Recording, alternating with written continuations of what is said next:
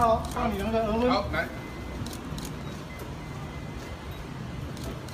我们的远景非常辛苦啊，那尤其像我们的这个移民署，还有我们的港警、航空警察哦，他们都在第一线，所以我今天特别来代表总统跟院长来感谢他们哦，他们的辛苦，尤其大家知道说有游轮的停泊等等，那他们在执勤都是站在第一线，啊，在这一最近的这些武汉肺炎的整个过程里面，我们看到我们的航空警察、港警。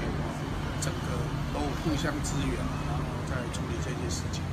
那另外我们其他的远景对失联的这一些哈，也按照内政部的指示，用通缉犯的规格、重大刑案的规格，把这些失联的人都很快能够找到。这都是花费很多的精神，所以我特别来感谢我们的弟兄们。那也来这里关心他们口罩，现在都第一时间都直接发给他们。那我也跟。内政部跟相关的单位都提到，他们有关加班的问题啊，绝对不能吝啬。他们已经这么辛苦了啊，那该有的这一些照顾他们的，我们都全力来支援。部长，哎，是有关警政署陈家金的那个人事案。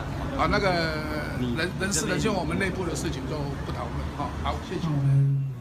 在整个的工作里面，大家可以看到，当我们第一时间，我们警察同仁。